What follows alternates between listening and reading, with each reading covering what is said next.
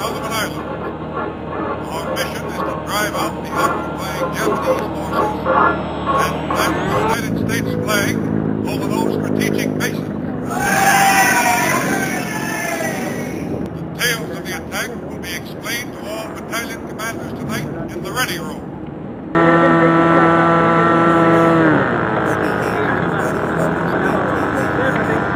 Everyone seems to be in good spirits. A little conversation about tomorrow.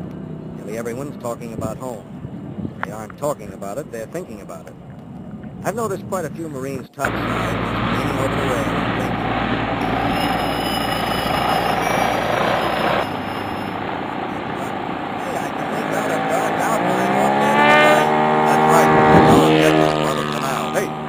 Look up ahead there.